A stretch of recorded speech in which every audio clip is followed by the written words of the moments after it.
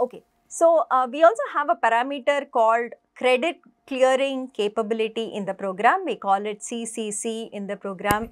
Uh, most times you will again get emails or messages or on your dashboard you will see something which is CCC.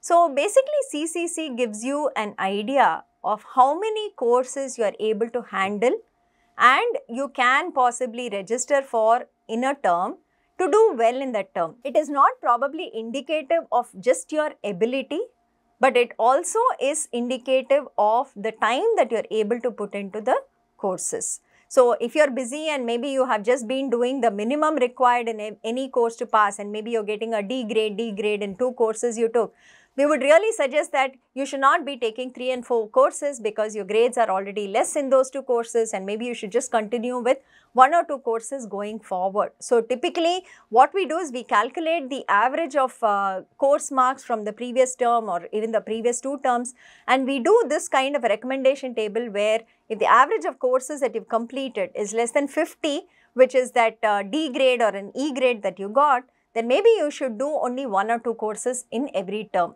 because we are seeing that either you don't put in the effort or the time or maybe you're not able to cope with the courses.